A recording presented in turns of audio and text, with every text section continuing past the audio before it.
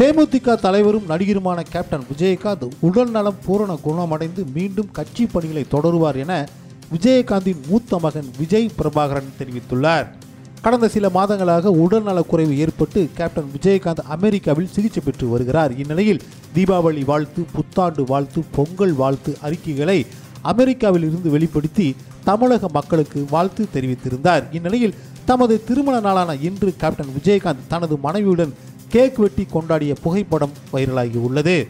பரபரப்பான அரசியல் சூழ்நிலையில் தேமுதிக நிர்வாக பணிகளை பிரேமலதா விஜயகாந்த் மேற்கொண்டு வருகிறார். இந்நிலையில் உடல் நலம் குணமடைந்து விஜயகாந்த் விரைவில் வீடு திரும்புவார் என்றும் மீண்டும் கட்சி பணிகளில் ஈடுபடுவார் எனவும் விஜயகாந்தின் மூத்த மகன் விஜய் பிரபாகரன் தெரிவித்துள்ளார்.